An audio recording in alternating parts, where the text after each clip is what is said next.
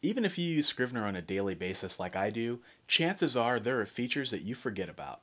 I've been using Scrivener for the last 10 years, and there are tips that I wish that I would have known that would have saved me a lot of time in the beginning. In this video, I'm going to cover my top 10 tips for Scrivener that will help you too become a power user.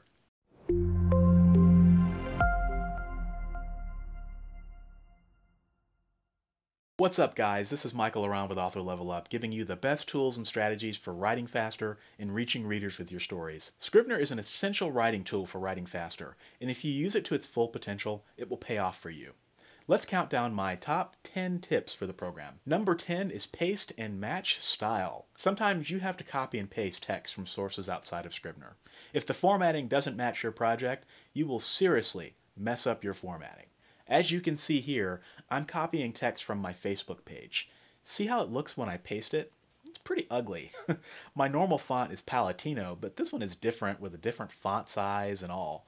But when I use the paste and match style feature, Scrivener removes the copied fonts and styles, and it pastes them into the document, mimicking what you already have set in your project. Let's paste that same text again using this feature. Not perfect, right? But you can see that the font is different, and it's much more workable. Number nine is snapshots. Before you make major changes to a document, do yourself a favor and save a snapshot. This will save a copy of that chapter if you ever need it later on. This is nice because it saves a chapter for you without having to revert the entire project to an earlier version. Very rarely have I ever needed to go back to a snapshot, but when I did, I was very, very grateful for it. Number 8 is split screen. Scrivener Power users have learned how to master the split screen function. You can get work done faster, especially in editing. Split screen is your friend. you can do it vertically or horizontally. If you combine this with the copy holder feature, you could technically have up to four editor windows open at the same time. You can do that by holding Option and then dragging the document into the current editor window. Number seven is collections. Collections scare people for some reason, but honestly, they're pretty easy and they save you a lot of time in formatting. Collections are a must if you're using Scrivener to format your books. If you have multiple books in your Scrivener file, then collections are also a must. When you create a collection, you save yourself from having to manually add all of the chapters for your book later for formatting. To create a collection, highlight all the chapters in your book, right click, and select Create Collection.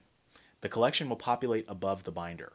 When you're ready to compile, simply go to Compile and click the Filter button and select Filter, Documents, and Collection. Scrivener will auto-populate all of the chapters in your book for export. Number six is creating your own project templates. Why use the default Scrivener templates when you can use your own? The easiest way to do this is to use Scrivener for a few weeks and figure out what your preferences are. Once you know what you want in all of your projects, create a new project, set it how you want it, then go to File, Save As Template. This will then show up in the Quick Start screen anytime you're ready to start a new project. Personally, I like to create stock documents for my outline, research, front and back matter, and I have these populate every time I start a new project. It saves me time. Number five is custom metadata. Metadata doesn't immediately make sense. After all, it's not the metadata you're probably used to, you know, the kind that tells Amazon, Barnes & Noble, and Apple um, what your book is about. Scrivener's metadata is like that, but it helps tell you what each chapter is about. For example, if you want to tag all your chapters with your setting so that you can sort through it easier later, you can do that. When you're editing and you realize that you need to change some details of, say, your church setting, you can refer to your metadata in outline mode to help you find all the chapters that have the church in it. The only limit to metadata is your imagination. If you choose to use it and be consistent and thorough with adding keywords to your chapters, it's a powerful tool. Number four is an anti-tip. Don't use lists. Scrivener doesn't handle them well. It never has. They don't convert well to other formats, they don't copy well, and they don't paste well. They're difficult to format in Scrivener, and they usually cause spacing issues when your lists get too big. If you're writing blogs or nonfiction in particular, Scrivener's bullets and numbered lists will cause you nothing but trouble. I personally recommend that you stay away from them. Number three is a keyboard shortcut. Command 1 to go to your document. Command 2 to go to the corkboard. Command 3 to go to outline mode.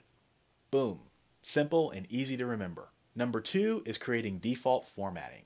If you haven't done it already, do yourself a favor right now and stop using the tab key. Please. Tabs make your book look awful when they convert to ebook format, and many of the ebook retailers won't even accept your book if you formatted it with tabs. The correct way to handle tabs is through automatic indents. Click Command R or Control R to turn on the ruler. Drag your cursor to 0.25 inches. That's the equivalent of hitting a tab key. This way, when you hit enter, it will automatically indent your paragraphs for you. This one trick will save you hours and hours of formatting. Plus, it will fast track you to pass EPUB validation, which is a requirement for publishing at most of the major online retailers. Trust me on this one. Create your automatic indent and go to Format, Make Default for Project. Go back and manually edit any documents that you use tab on prior to doing this and commit to eliminating the tab key from your muscle memory.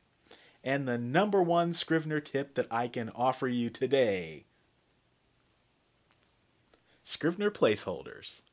Did you know that Scrivener has its own syntax that you can use to tell it to insert certain elements? For example, let's say you want to insert an image into your text. The wrong way to do this is to copy an image directly into your editor.